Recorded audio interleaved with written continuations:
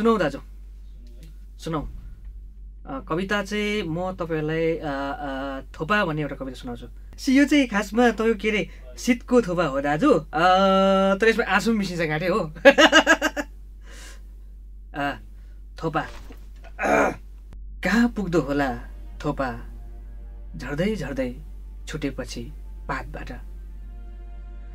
कहाँ पुग्दो होला थोपा झर्दै झर्दै छुटेपछि पातबाट अनुमान लाउनेहरू भन्छन् माटोमा मिल्छ र सुकेर जान्छ अथवा घामले लिन्छ र न्यानो बन्छ। कहिलेकाहीँ सोच्ने गर्छु म थोपाहरूको पनि आफ्नै कथा हुँदो हो जसरी आँसुको हुन्छ। ल है दाजु। यस्तो हो त हौ। भावुक भावुक टाइपको मान्छे छु दाजु होइन? अनि तर म भित्रैबाट चाहिँ एकदम त्यो के अरे मान्छेलाई हँसाउ कि जस्तो पनि लाग्छ कि दाजु? तर मेरो त्यो छैन कि दाजु? त्यो बिचमा चाहिँ तपाईँको नेपालतिर गइयो दाजु। अनि त्यसले गर्दाखेरि चाहिँ कस्तो हो भने त्यता गएपछि कोरोनाको टाइममा छिरेको। अनि आउनलाई त्यो तपाईँको एउटा त्यो तपाईँको के कस्तो भने त्यो सात दिन जस्तो लक लकडाउन खुल्ला भएको थियो कि दाजु? अनि त्यो बेला चाहिँ म छिरेँ दाजु। ठ्याक्कै उता बसेपछि बन्द भइदियो क्या दाजु। सीमा नै बन्द भयो क्या आउनु पनि सकिनँ क्या दाजु।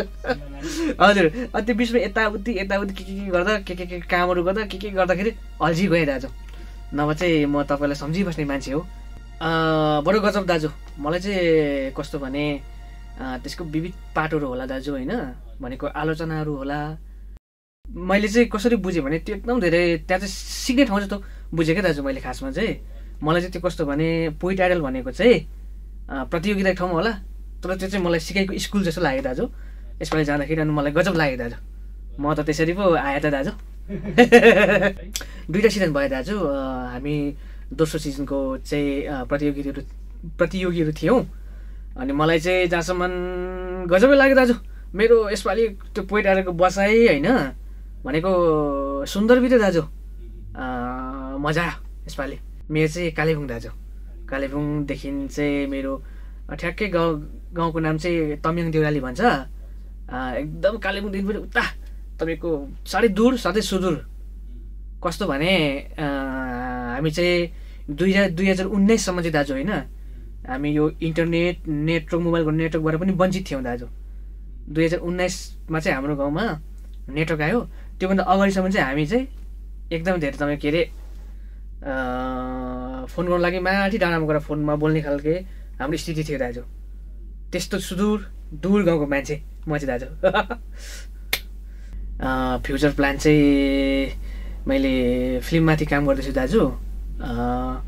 फिल्म स्क्रिप्टमाथि सम्भवत चाँडै नै तपाईँहरूले हेर्नु पाउनुहुन्छ कि भन्ने मलाई जहाँसम्म विश्वास लागेको छ है दाजु। लेख्ने काम मैले मैले क्लास गरेँ दाजु स्क्रिप्ट राइटिङ क्लास। धरानमै गरेँ दाजु मैले। अनि थिएटर पनि गरेँ मैले। केही समय थिएटर पनि क्लास गरेँ। स्क्रिप्ट राइटिङमा पनि केही समय मैले स्क्रिप्ट राइटिङमाथि वर्कसपहरू होइन दाजु? राइटिङमाथि थोर बहुत त्यो माथि क्लासहरू गरेको छु दाजु। त्यसले गर्दा त्यसले गर्दाखेरि त्यसमा रा लेखिरहँदा अलिकति त्यसको सैद्धान्तिक पक्षहरू भनौँ न दाजु कसरी लेख्ने होइन? त्यो बारेमा थोर बहुत त्यसले सिकाउने रहेछ भन्ने मलाई पनि लाग्यो दाजु।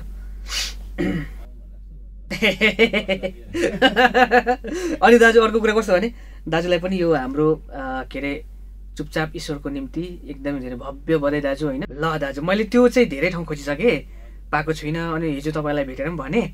लु दाजु मलाई त चाहियो भनेर भने दाजु। अनि मलाई चाहिँ म समीर दाजु चाहिँ कस्तो भने सङ्गीतकार होइन? गायक। मलाई त पहिला सुरुमा त दाजु चाहिँ गजलकार भनेर पनि चिनेको मैले त। सुरुमा। अनि त्यसपछि अब स्टुडियोको मालिक साउन्ड ट्र्याकको मालिक तपाईँ भइहाल्नुभयो। अनि गजलकार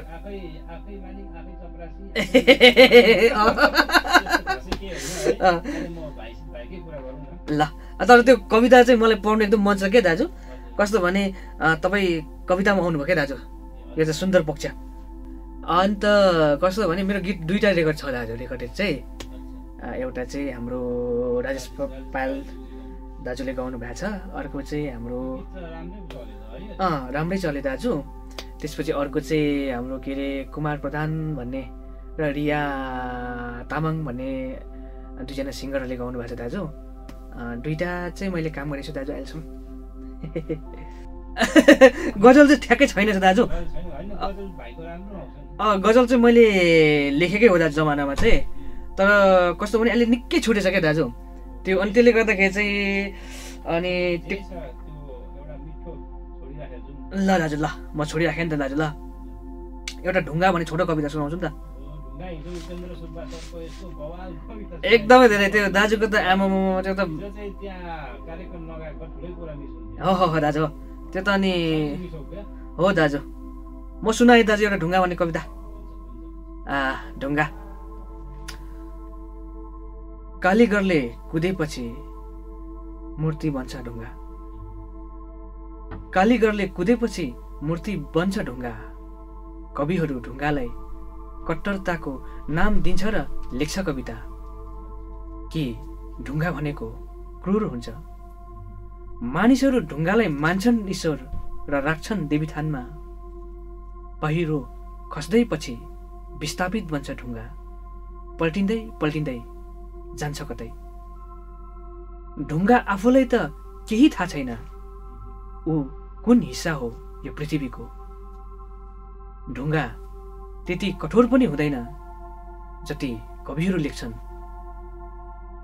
एक दिन ढुङ्गा झर्दै झर्दै गएर खोला बिच पुग्छ र रुन्छ। त्यसपछि उसको आँसु नदी बन्छ। वास्तवमा त्यतिखेर थाहा हुन्छ ढुङ्गाको कोमलता।